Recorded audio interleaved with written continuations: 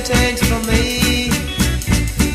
Cause if I try to talk about Chaucer, they get too close and I can't hardly breathe.